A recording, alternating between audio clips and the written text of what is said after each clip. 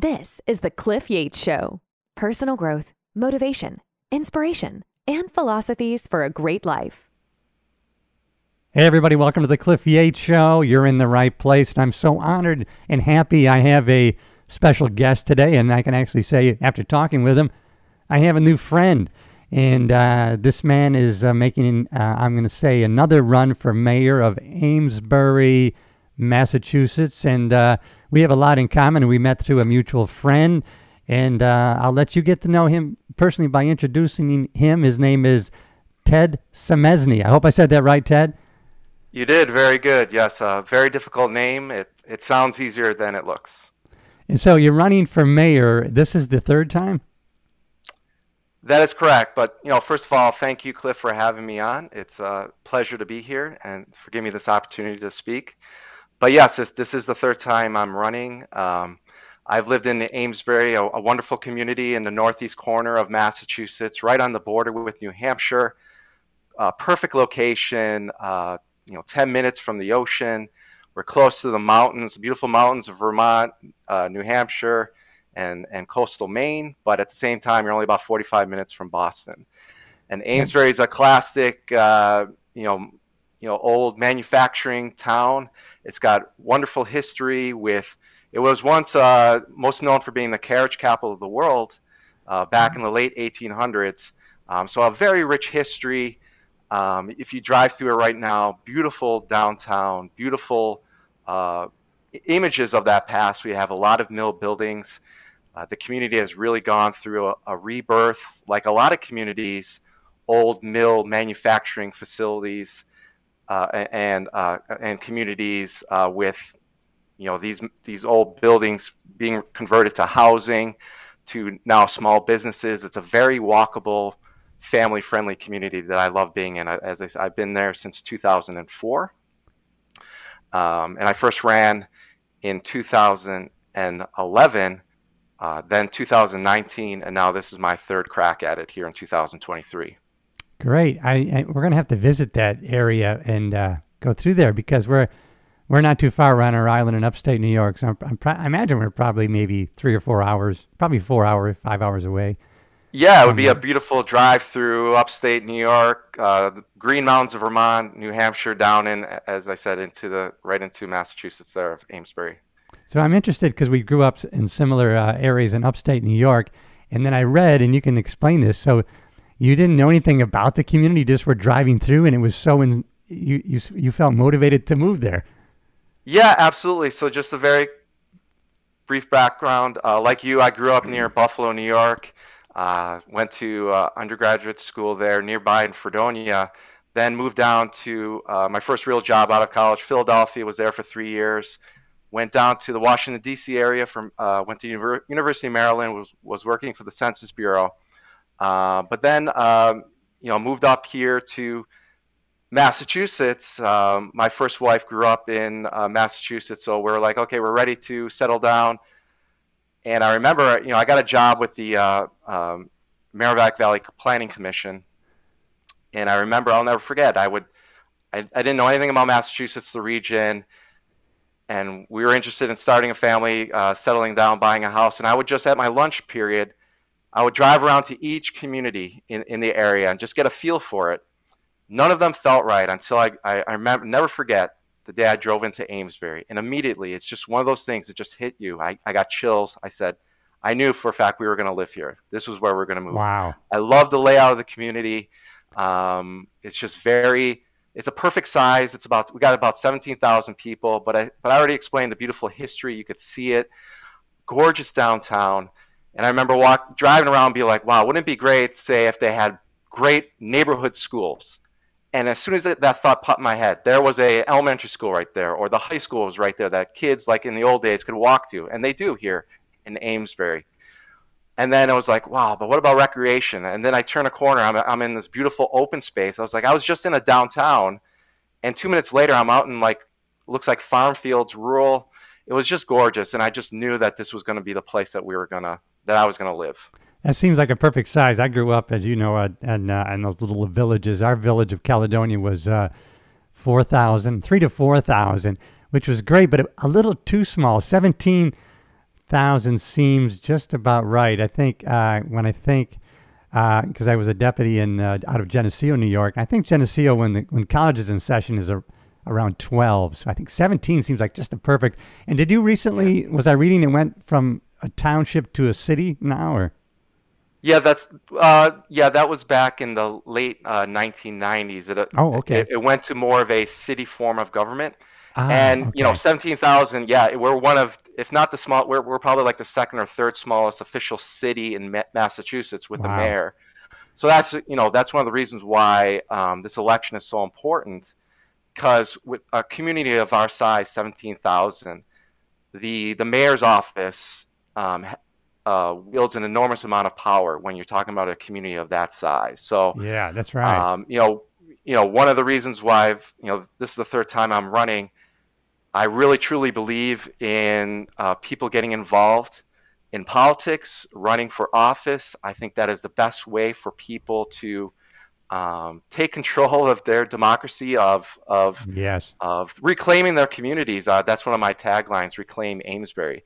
And like to it. me, that is the core of people being proactive, not just with their lives, reclaiming their lives, but reclaiming their community. So I'm a big believer in people running for office. I would love nothing.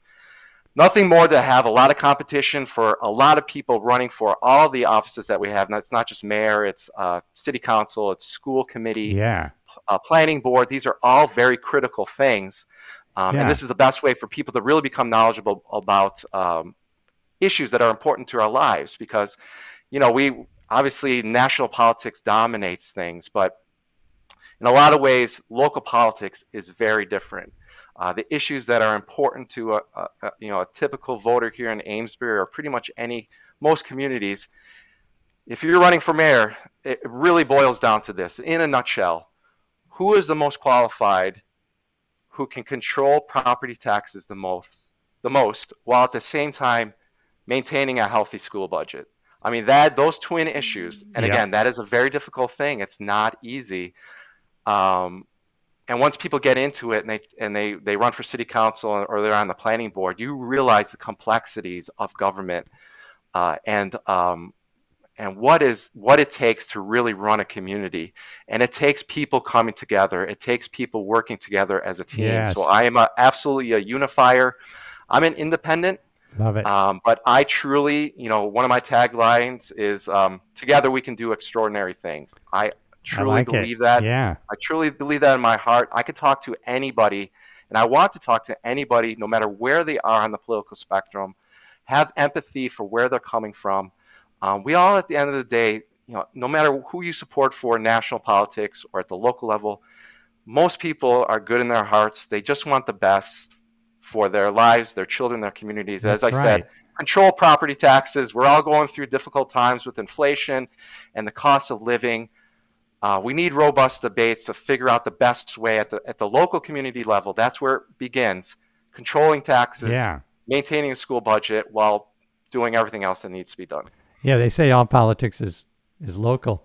Yeah, and that Yeah. who can be more qualified than you, really? I mean, uh, so if I got this right, you have degrees economics, political science, public management, economic development, and you've been on the planning board in Amesbury for what eight years? Or? Yeah, I was on the planning board in eight years until uh, 2000. Let's see, till 2000. And, so from 2009 to 2017. Wow, that's that's Yeah, great. And and then uh, so- I I like uh, you you mentioned once that uh, if you can't, uh, was there something that was like a broken pavement or something right outside the city hall or something? If we can't start there, where can we where can we start? Right. There's the little things of uh, Yeah, you know I- getting things fixed and Right, e- exactly. So as I said, it. I mean, there there are many layers. Well, well, to yes, to, to follow up on my qualifications, you know, I, Yeah, I am please, please do. I know I confident that, and I know I'm the most qualified person running for mayor based on my extensive background, not just in the public sector uh, and volunteering for positions, being elected uh, official, but being in the private sector as well.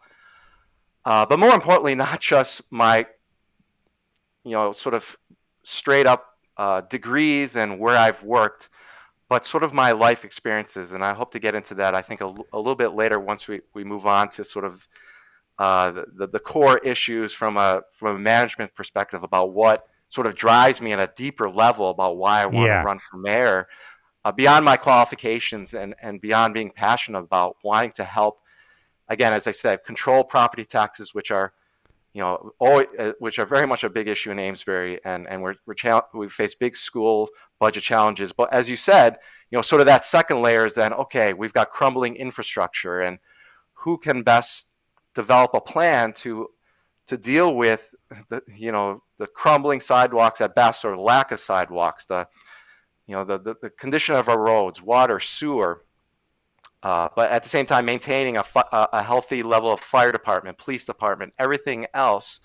And then at that third level, I would put those things infrastructure, police, fire.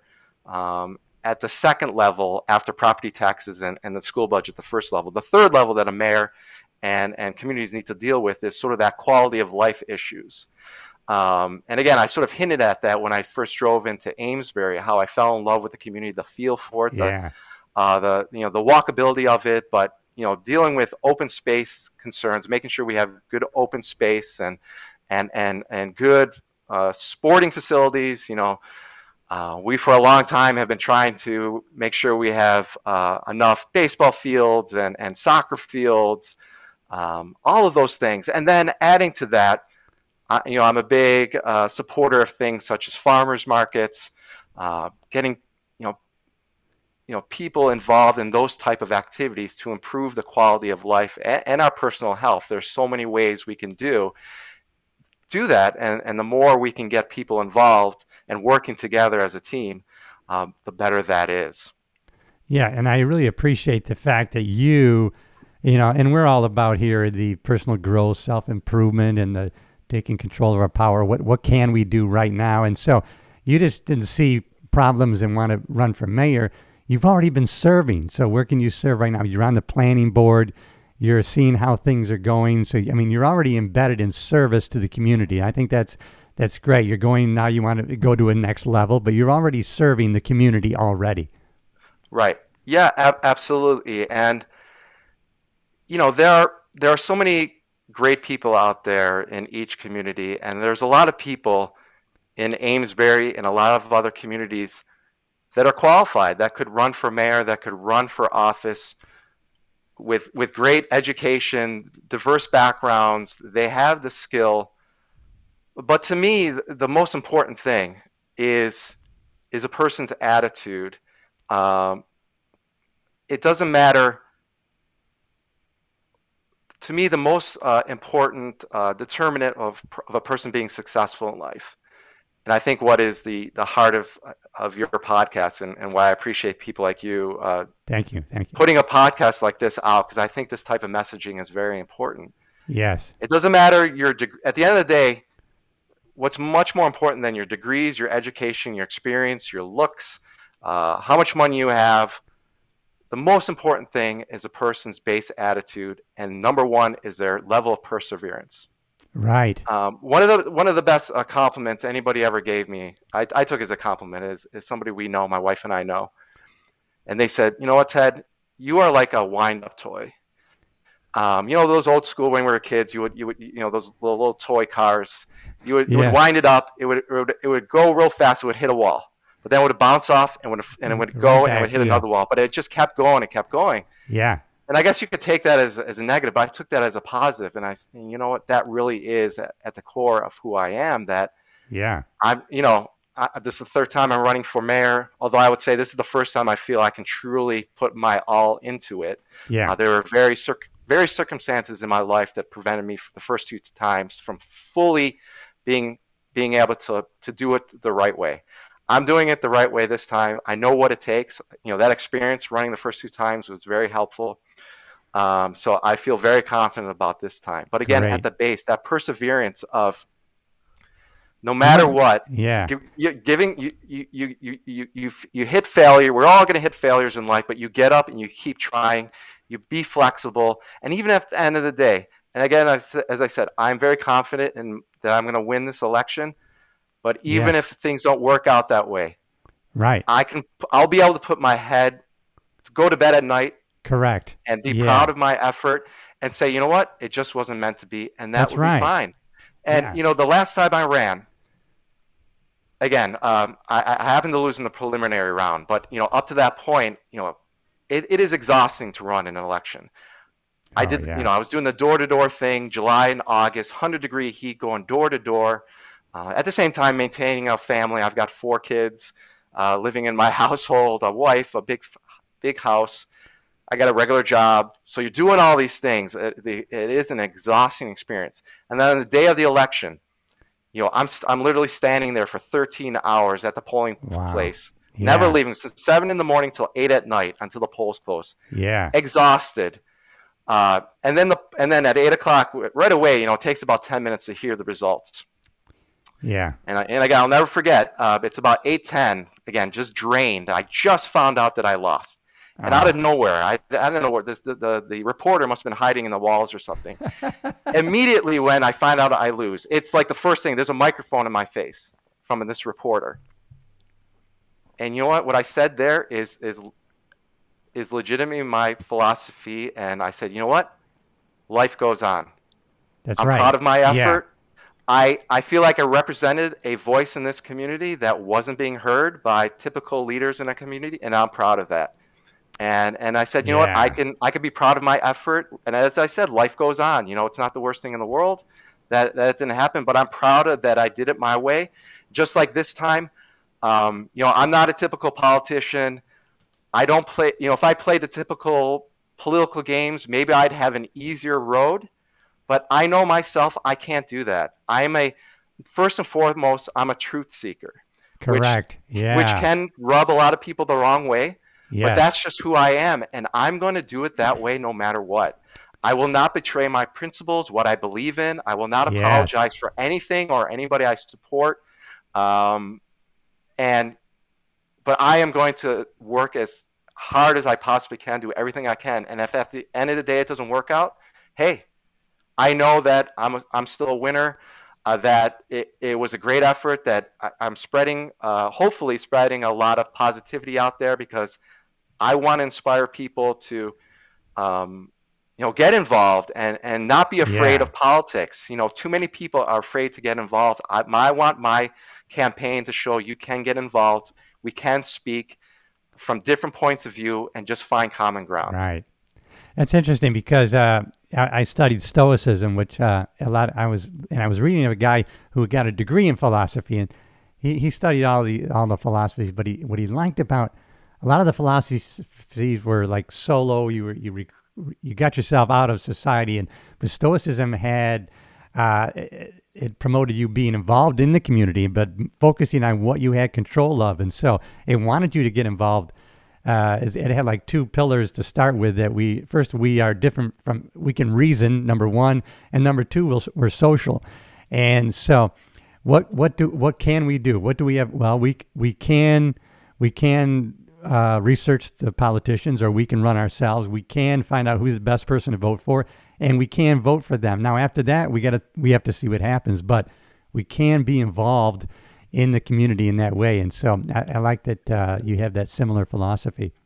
Yeah, no, I mean, I truly believe that, um, you know, the health of our democracy, the health of our society is all dependent on the energy that us average people put into it. I think, and what I saw, you know, you know, running for mayor and everything, again, uh, in addition to the fear, un- unfortunately, that we need to kind of break out of, of people speaking out and, and, and, and getting involved is just related to that is just, you know, I, I think just too many people have this idea that democracy is a spectator sport. That Yeah. you sit back, you sit back and you pop, you pop some popcorn and you watch the two warring factions. Yeah. That's not democracy. And No. and even voting, which is hard enough as it is. You think voting rates at the national level is it, it is it can be depressed that that, that can be the the most devastating thing when you see you give it your all and it's not so much the enemies you see in front of you the the enemies um, or you know the people that you're fighting it's sort of just the general you know people can't even too many people just can't even find the time to vote and it's just like I know. Yeah. you know you're going to complain about everything but you know just but even voting is not enough you really need to our democracy, it, it's only going to be as strong as people put into it and actually get involved. It's you and me. That's democracy. Yeah, it's that's right. average people. And that's why I'm such a big believer in, in local politics. And that's where it starts. Uh, if we get enough people, good people running for office, coming together at the local level, starting to slowly reclaim their lives, their communities, then you can really build a grassroots movement. There are no, I, I know you know this, Cliff, there are no shortcuts in life. No. Um, um, so again, it starts with attitude and saying, you know what, I want to take control of my life, but it is work. It's, Yeah. it's, it's so much hard work. Um, and there's going to be failures, and you just got to pick yourself up and, and keep going and never give in to the naysayers. Do you have? Um, Uh, you must have pretty good name recognition. You must be pretty well known around the community. Well, yes, with the with the name, I'm I'm sort of leading with uh, with the tagline, kind of uh, on my yard signs. I sort of really highlight Ted because you know the last name is very difficult, so it's sort of Yeah, like yeah. for Ted.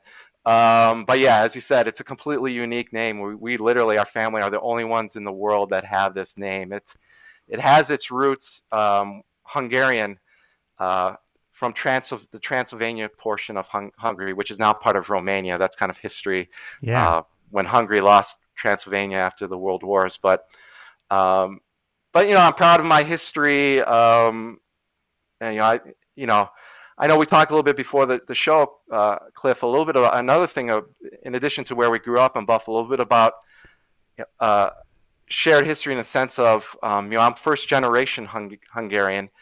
My parents, uh, all my aunts and uncles, all my family, they all grew up in communist Hungary.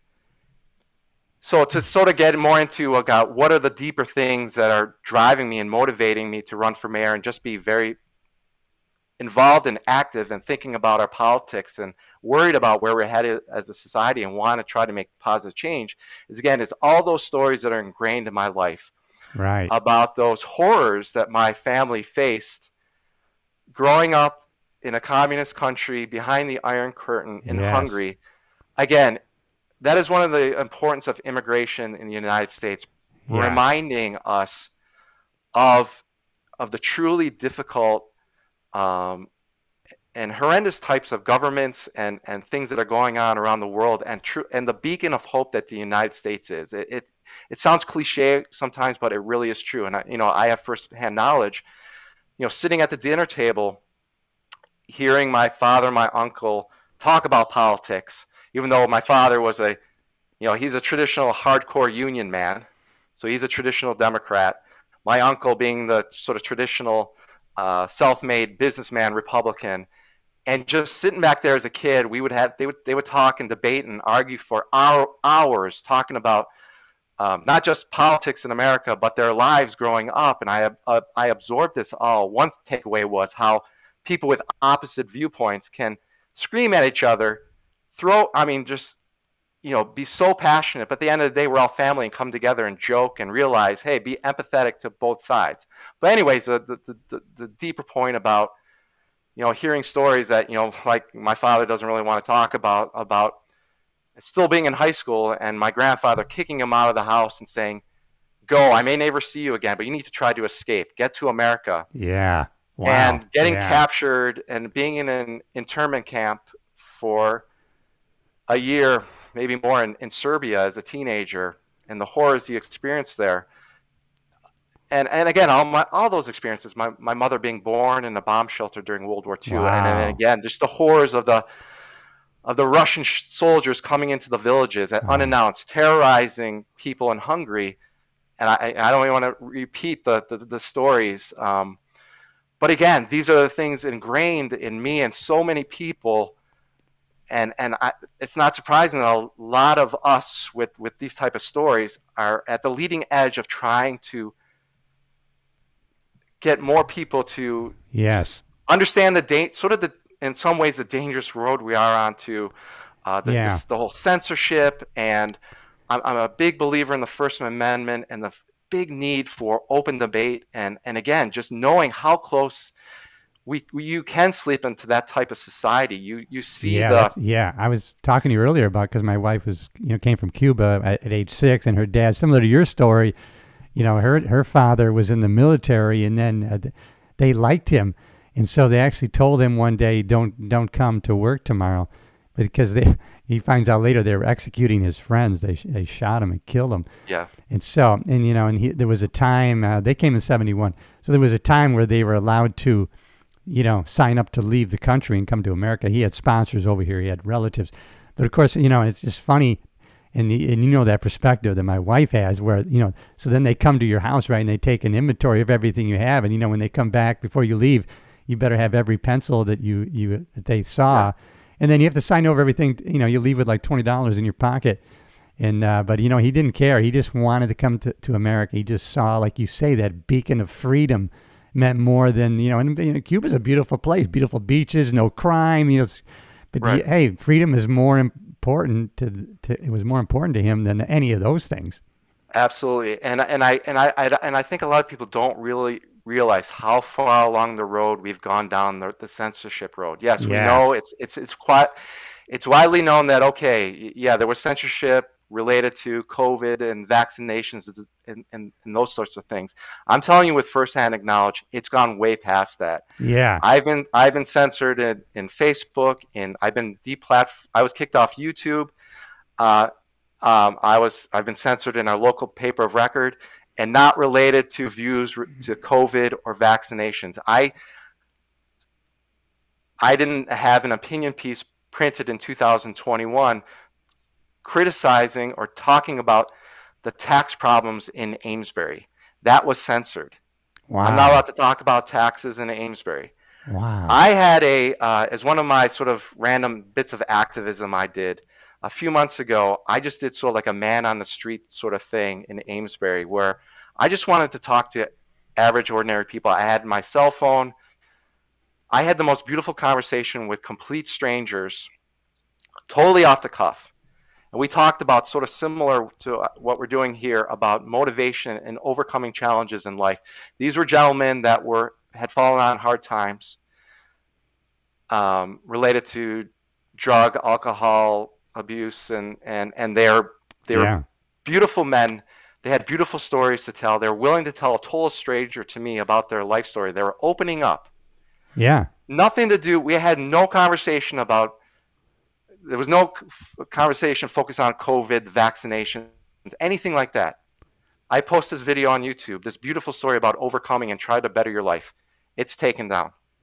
It's censored with no explanation. Now it's up there on Rumble, but again, there are so many examples that people don't realize how far we've gone down this road of of First Amendment violations. Of, Yeah. There's so much information that's being silenced out there that people don't realize, way beyond what people think it is. yeah, Um, so yeah, I mean that's certainly one of the motivations of running for mayor. Um, it sickens me that that type of mentality of trying to cancel people, of trying to ruin people's lives, of shutting people's speech down. We need to be talking about so many issues. yeah, Uh, and, and sort of the fourth, so if I can sort of get into the cliff, that's sort of like the, the baseline area of running for mayor and what I'd like to do.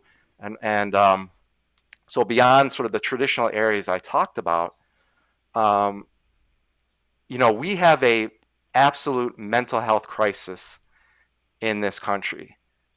Uh, and um, and again, this this is something I want to bring up and really truly try to tackle as mayor of Amesbury.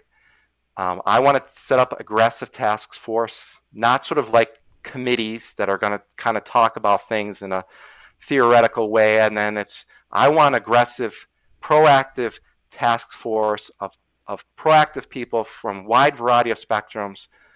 How can we address this? Because this kind of goes hand in hand with the with the uh, eroding of our rights and, and sort of where we are uh, as our democracy.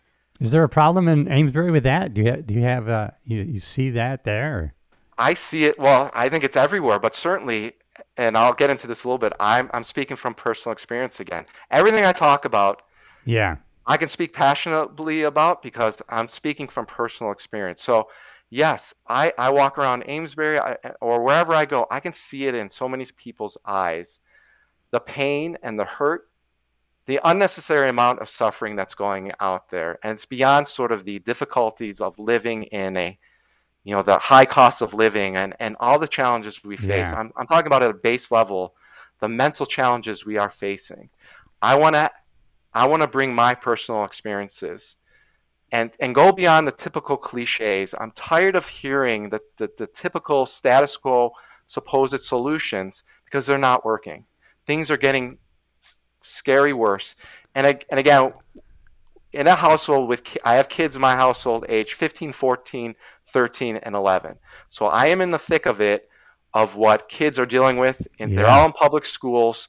The scariness of social media. So again, I was at a place 10 years ago.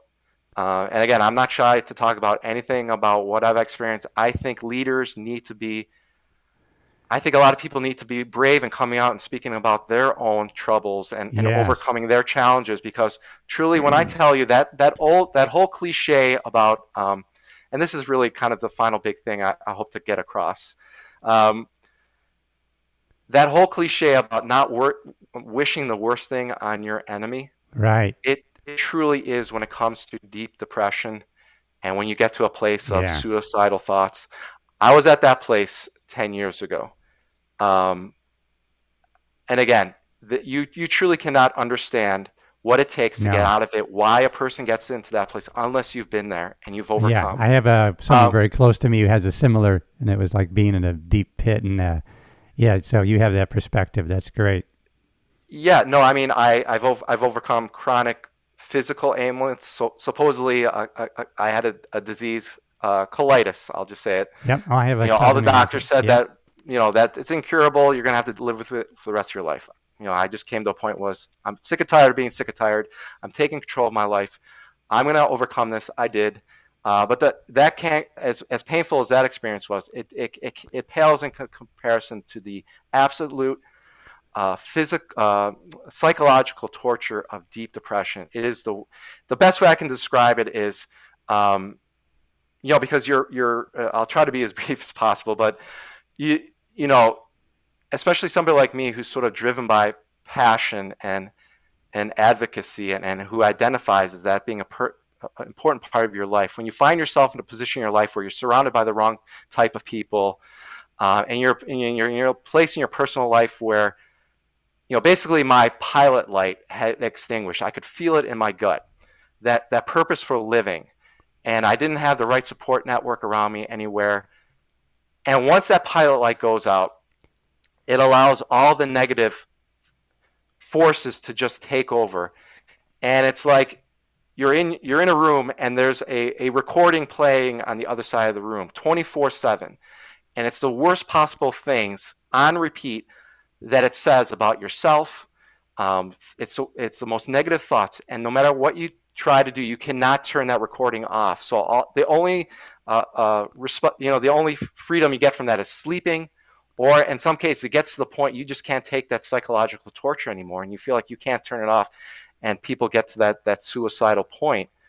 Um, we need to have I feel like so much, so many people have lost the point of life. We, we don't have a purpose in life anymore. There's so many distractions, um, and it's especially difficult for kids. We're making life so much unnecessarily complicated.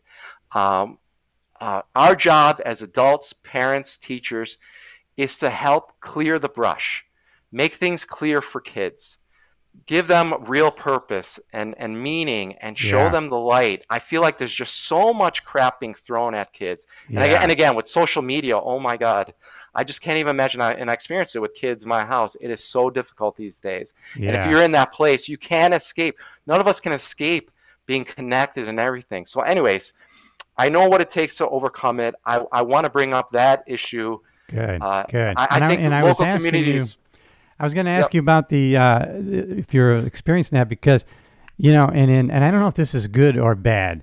So like uh, my little hometown where my mom is still, she just turned 88, so she's she still lives in the same village.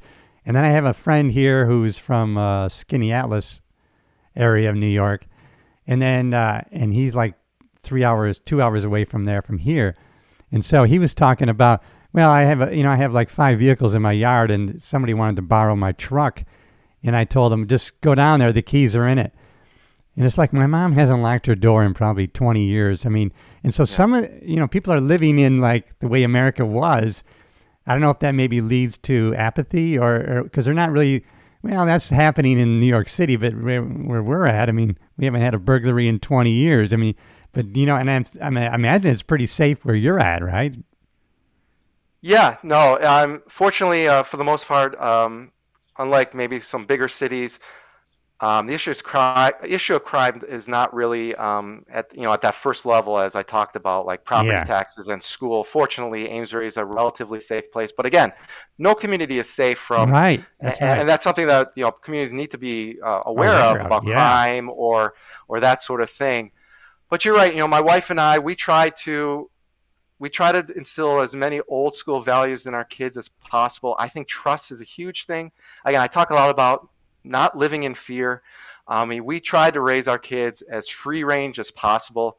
Again, that's so difficult in modern life. I mean, we're all being monitored, and you you let your kid do something that whoa whoa that's oh that's not safe and um whole but you know you've got to allow some freedom for kids we got to give them some breathing space yeah, you're right. for them to find themselves Correct. kids don't have the opportunity to just sit back be quiet be in nature just be with other kids or with themselves without the sup- constant supervision of schools or their parents or social media that is so important that's the only way for kids to truly develop a true identity and true um, confidence in themselves. We're, we're developing all this fake confidence that is eventually going to grow up and uh, blow up in people's faces. You can't get confidence via, uh, you know, Snapchat and, and social media and, and Right. constantly forcing it on kids and constantly micromanaging everything that they do. So my wife and I, I think along the lines of what you're saying, we, we try to not live in fear. We I remember we had we sell uh, wood on the side of our road. Um, yeah. You know, because we, we had we got some we got a decent number of trees, so I'll, I'll you know I'll, I'll cut up the tree, and just you know it's nice to just sell for five dollars a bundle. See people drive by, and it's an honor system. I remember, you know, we, we told people they're like, well, how do you collect the money? Well, we're like, well, it's just an honor system. The amount of people were like, well, how many people that how many people are going to steal from you? Now we're just like, well, we're, we're trusting. We're trusting that people yeah, are going to be good. And I can say for honestly, for the three years we've done it, we've made quite a bit of money. Not a single person in the three years has taken advantage of it. Everyone has paid Yeah. the amount or they've given more money. But it's unbelievable how, how many people's knee jerk reaction is, well, you can't do that. You you can't trust people. They're they're Yeah. gonna steal from you. Well, we're trusting and we're not gonna live in fear, and that's, That's the way we want to live. Yeah, you have to, man. That's the, and that's the big uh, divider that they use. It's funny. Do you know M- Michelle Tafoya that used to be on the uh, ESPN and she was a sideline Yes. reporter. Well, you know, she quit that job and now she's got her own. And she she basically said, "I'm I'm going to go on the front lines of education because I know a lot of parents are afraid to do it because obviously they can suffer some some severe consequences." But she just kept seeing in her own kids' schools like they were bringing they were taking kids and putting them in their own groups right and separating instead of letting everybody come together and she was just thinking Right. it was so indoctrinating that she she, she so she's taken on this fight and I, I really think a lot of her but kind of going along with what you Oh. said you're very involved in your kids education and what's going on with them Yeah, and, and uh, you've got to be, uh, yeah, I mean, you've got to be your kid's principal uh, uh, educator, and don't follow the mainstream narrative necessarily. No. You, you you know in your heart what is right, what is true and right, and don't be shy to talk about topics with kids. But at the same time, you know, let them be kids and run off and do their thing. But to kind of go back to a little bit of what you just said, I absolutely hate identity politics. Um, I think that is one thing one of the things that's absolutely tearing apart our society. Yeah. As I said, I can talk to anybody, no matter where they are, and I truly believe it boils down to me for this when it comes to identities, politics, and groups of people. No matter how you want to slice people up, and we know the establishment, the mainstream of society, constantly wants to group us into ever more and more different types of groups. No matter what demographic you are part of, black, white, rich, poor, gay, straight, it doesn't matter. I truly believe this in my heart that every group of people has an roughly equal share of good, positive people, and every group of pe- people, no matter what they are, has an equal share of assholes. Okay. Yeah, you're right. And yeah. my and my and my goal in life, I want nothing to do with the latter group. I try to avoid them as much That's as right. possible. Yep. I want to be around people that are a joy to be around, that are a pleasure to talk to, um, that are going to help help open me up to new ideas and help grow my and help my journey and, and who are open to me hearing my points of view. And I don't care what who you are, uh, how much money you have, how poor you are, what you know, what color skin you are, what your sexual orientation are. I don't I don't care and I don't think we need to we should be so hyper focused on those things and somehow think that one group is evil, one group is great. Every group is the same. We're all people. We all within us have good and evil. Um, and we all just got to try to find that positive light. And, and, and truly, in this run for mayor, I just want to find wherever they are those good, positive, proactive people, no matter what their beliefs are at the national political level or at the local level or what have you. I know I can work with anybody, and I just want to make you know positive Right. change. But I know it's I, it's not. This is not all. At the same time, I'm not scared to obviously speak my mind and, and say and do what needs to be said. You got to be a strong leader. yeah, And obviously, right. I'm not afraid to do that, given how much I've been censored and how many people in power do despise me here locally because I am unfiltered. Because I know that what need that's part of the whole equation of us Yeah, of being able to overcome the challenges. You, you, we have to call out power structures, all of them. If, if truth to they're, power, if they're bureaucratic, if they're Yeah. if they're lying to us, we've got to find the truth. Yeah. Hey, let me ask you this, because I and I, you're a little bit younger, but because you know when I grew up, and I assume that, I, and I assume that my dad must have been conservative or Republican, but we never talked about that. He was a Marine and a police officer, and but he had like an album of JFK speeches, and who JFK probably would have been considered a, a con, far right today. But but uh, when I grew up, no one knew what anybody voted for, and no one knew. I, I don't know who your what uh, affiliation you're with. And I grew up on the uh, in upstate New York at a sheriff's department. I remember them saying, "Oh, that's Tom. He's he, he's our token Democrat or whatever." But no one ever asked me. The sheriff, who was an elected official, never asked me, "Are, are you registered or did you vote for me?" It just wasn't. It, it wasn't talked about. You know, you went in and t- pulled the curtain and you voted who you were going to vote for. But now, Right. everybody's hyper. Are you? Hey, can we be good friends? Well, it depends. I mean, if you're a Trumpster, no, we can't be. What? What? I mean, it's just uh, such a division. Yeah, no, absolutely. Well, again, I don't shy for anything. You know, I'll- so I'll, s- I'll, I'll let everybody know I'm an open book. You know, I, yeah. I like the majority of people. I am an independent, so I'm not part of the Democratic Party. I'm not part of the Republican Party. Uh, I am a true independent. But number one, you're right. Uh, it is frustrating how just it's the knee-jerk reaction. Whoever you support at the national level, that sort of frames what they think you are at the local level. And as I explained at the top of this podcast, it's apples to oranges. National politics and and what's important at the local level is so different. But but fine, Yeah. but you, you can't escape it. People want to know. I know. Yeah. So again, I I am supporting RFK Jr. at the national level. Yeah. Um, and not surprisingly, that is the thing that immediately the local paper of record, they have still not reached out to me one Wow, time to, to ask me anything. Jeez. But they've already put a hit piece out me out to me simply on that point. Yeah. Now to your to your point again, um, I'm not a, I wouldn't call myself a Trumper, but I certainly have sympathy to the The Trump base. principles, right? Policies. It's The not. it's- principles, there's yes, a lot of things I don't like so- about him, but I like some of his policies. Yeah. Yeah, so so this is where we are. So we know, uh, you know, Trump has got got roughly 50% of the electorate, Right. according to the high society. Yeah. 50% immediately. Uh, you know, they're a basket of deplorables. They're undesirable. they should be canceled. 50% right off the bat. Now here comes RFK Jr. from the traditional left, and again, to me, RFK Jr. is the real, actual, Yeah. true liberal, true Democrat. The, to me, the Democratic establishment's been hijacked by this Hijacked. liberal, Correct. hijacked. So I love that RFK Jr. is running for a Democrat because think about this: if somebody came and and and uh, so robbers came to your house and kicked you out of your house, what should you do? Should you run away, run to another ho- town? No, you fight to get your house back. Correct. Yeah. So I love that RFK Jr. is trying to fight and say, no, this is the real base of the of the of the Democratic Party. So all these people who say, well, why is he doing? He's got no chance.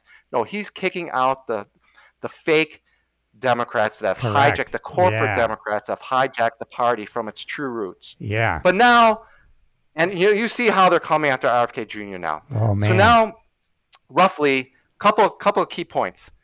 At the national level, right now, the key stats show that U.S. all the electorate, the Republicans, Independents, and uh, Democrats. RFK Jr. has the highest favorability of anybody. But let that go. Let's just look at the Democratic primary base. He's rough. He's polling roughly 20%, which is pretty amazing going up against a sitting president.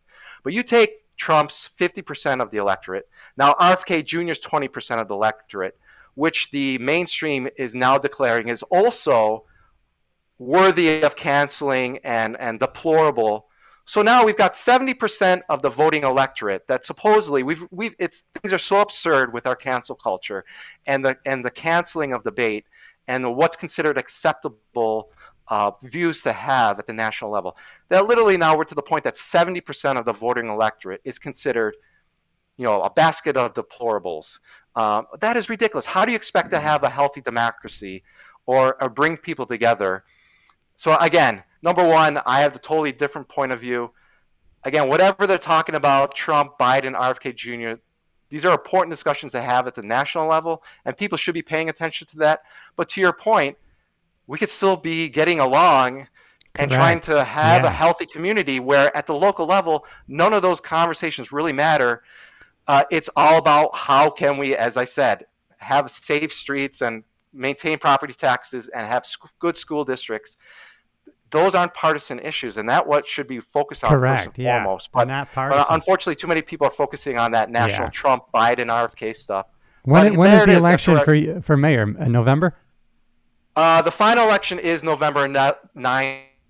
As of now, I think officially that's the only uh, uh, uh, election. However, if there's more more than two people that are running for be a mayor, primary or there'll have to be a primary. I believe You- it's, it's it's September. I think it's September 17th. So I think officially the deadline to return the signatures is coming up. It's in about nine days. Uh, so so far as of now, I believe just the sitting mayor and myself have returned. So I think officially there's just a, a November election. But there's Great. there's there's been talk about three other people who have pulled papers who may jump into the race. So this things might be coming up really quickly.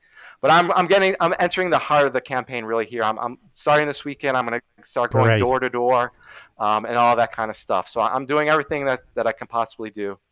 We're going to start to wrap up here, but I'm going to pay attention. I wish I could vote for you. I, I can tell that we're on uh, similar paths, and you're someone who cares. You're authentic. You're willing to be vulnerable. You're already embedded in serving the community. So, man, I'm hoping the best for you. And because, that, as you've said, you you come from a positive uh, way of uh, thinking of things. And obviously, even if someone didn't agree with you, you'd be open t- to listen to them and, and discuss the matter, which is something that uh, is not really common today.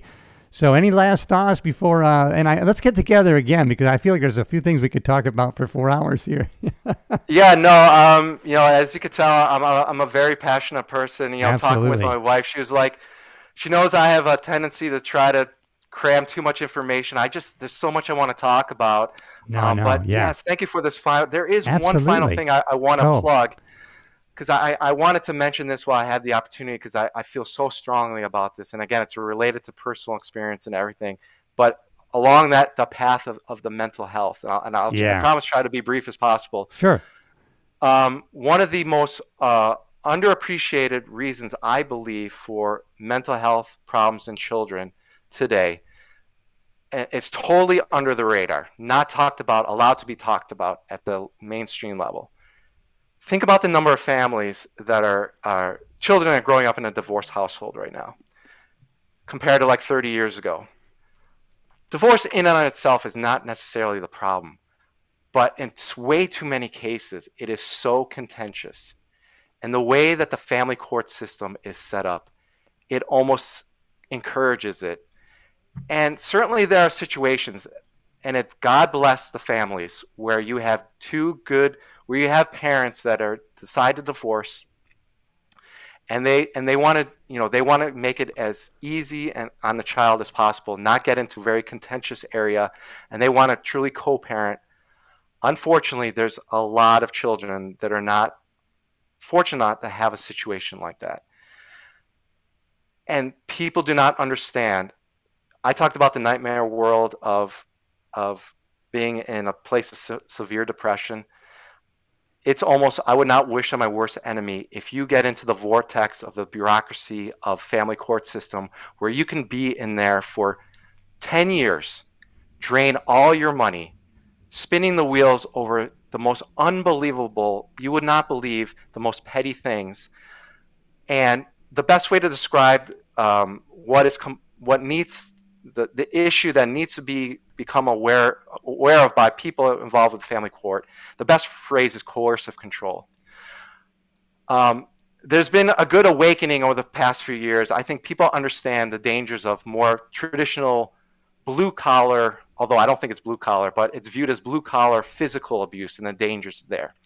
There is so much mental abuse, narcissistic type of gaslighting mental abuse that is going on that is exacerbated by the family court system. And if you unfortunately have very bitter exes, and, to, and that's not going to be uh, uh, unusual, there are so many ways for coercive control where one ex spouse could literally, I know I don't say this word uh, lightly, could become the slave of the other ex spouse through extensive monitoring, social control. There's so this would take two hours to really go through, but I just yeah. wanted to bring yeah, that up. Time, yeah. And and uh, you know I'm part of an advocacy of that to try to raise raise awareness Yeah, here in. Massachusetts at the state level about the issue of co- coercive control, raising that awareness in family court, and and that's an underrated source attention for children and mental health. So thank you for giving me that opportunity, and and thank you for this opportunity as a whole. Yeah. I you know, your pet, you know, I think your podcast is great. I saw your podcast with uh, Pete Berwick. Our friend, yeah. Um, Thank know, you I so thought it was a fantastic conversation. So thank you. Yeah. Well, I love. Yeah, it's uh, and so uh, is there any links that anybody can look for your campaign, or uh, we can point them to it, or any anything I can uh, include in show notes or on the YouTube uh, description? Yeah, so the quickest one would be uh, reclaimamesbury.org. That would be my principal website. On there, there's a donation link. Uh, there's a link to my Facebook page.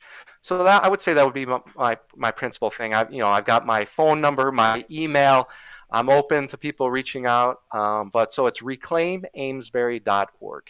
Okay, so I'm going to include that in the show notes of any of the podcast uh, platforms, and also on the YouTube channel description. It'll be reclaimamesbury.org, and you can uh, please go there uh, if you just want to know about uh, Ted's campaign, And please support him. Uh, man, I, I love what you're doing. We're we're kind of out of time here, but I hope we get back together. And uh, man, you're a great guy, and uh, and so we have a lot in common, and we could keep talking, like I say. But let's get back together again. I'm going to watch your campaign. Hopefully, the next time, and we're going to be have a little celebratory podcast here on your on your win.